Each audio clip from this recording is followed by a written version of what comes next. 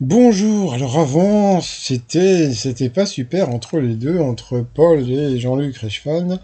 Il y avait problème. Bon, on sait toujours pas vraiment ce qui s'est passé. Je pense que bon, euh, il s'est pas trop occupé de lui à son départ. Bon, c'est pas très important. Et depuis, ça va mieux.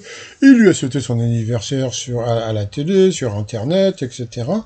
Et ils ont fait des photos. Bon, sauf qu'il y a la photo qu'ils ont fait. Bon, bah c'est sympa, etc., etc. Mais bon, il y en a qui ont les boules. Et mais oui, mais qui c'est qui a les boules? Bah les autres mettent de midi, c'est-à-dire que bon, on a l'impression, quoi, ils ont l'impression qu'il y en a que pour le popol et puis que eux, euh, bah rien, quoi.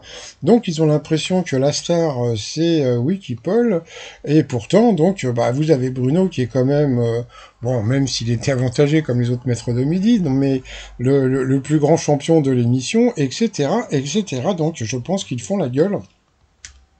Parce que euh, c'est vrai que même, euh, eh bien, Xavier, euh, bah voilà quoi, il n'y a pas photo, comme dirait l'autre. Hein. Bah non, il n'y a pas eu photo, c'était plutôt avec Popol. Allez, je vous dis à plus tard, bye bye.